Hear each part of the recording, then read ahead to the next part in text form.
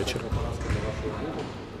Граємо ідеально для вас. Скажіть мені, будь ласка, полтрабл з лідерів це головна причина поразки чи може щось інше? Да нет, у нас 10 сильных игроков, хорошая ротация, поэтому если один игрок выпадает, у нас есть его кем заменить. Тобто не полтрабл ставиться. Нет, конечно. Ну, Скажіть мені, будь ласка, вашу власну особисту або можливо командну думку, що саме привело до поразки? Мы сегодня проиграли только в борьбе.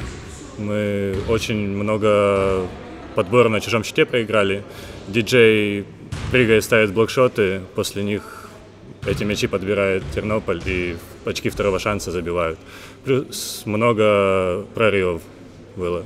Югбанис как раз убежал в решающие моменты, забил важные очки, и мы провалились.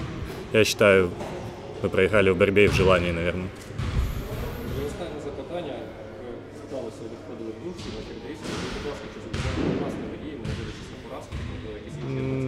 Нет, я не задоволен.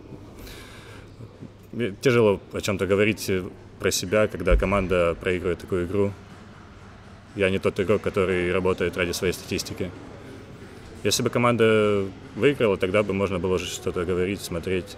А так, я даже не знаю, не смотрел еще статистику, даже не знаю, что там у меня. Вам спасибо большое.